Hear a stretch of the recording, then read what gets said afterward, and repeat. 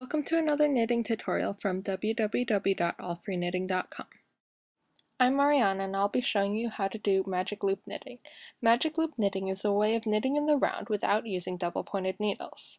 To use this technique, you need a much longer cable than your project needs. The cable should be around 30 inches long. Begin by casting on the number of stitches your project requires. Generally, you should use an even number of stitches. For this tutorial, I cast on 20 stitches. Once you cast on your stitches, move the stitches to the middle of the cable. Divide those stitches in half and move each half to the opposite needles. Since I cast on 20 stitches, I want 10 stitches on each of my needles.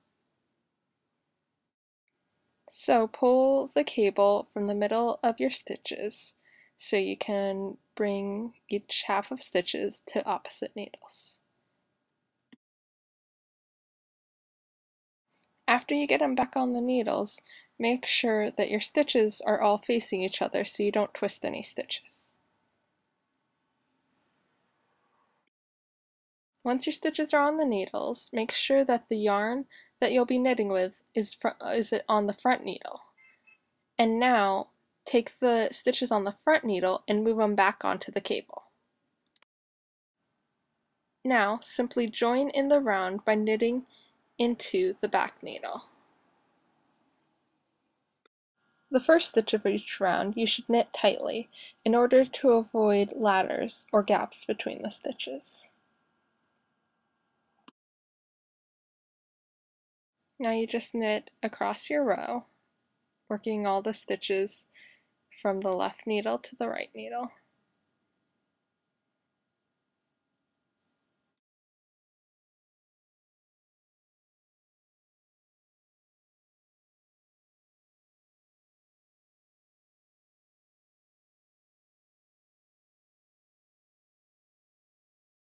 Once you reach the end of the row, put the stitches from the cable onto the now empty left needle, and you can turn your work.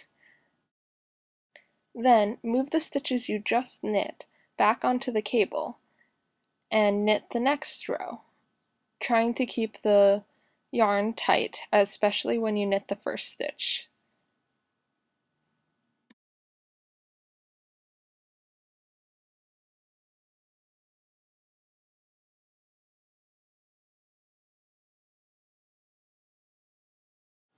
Continue in this manner of knitting across each row and then moving the, the stitches on the cable to the empty needle and the stitches that were just knit onto the cable throughout your pattern. And that is how you can knit something in the round without using double pointed needles.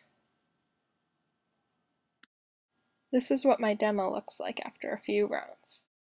I hope you enjoyed this tutorial on how to knit using the magic loop method brought to you by www.allfreeknitting.com.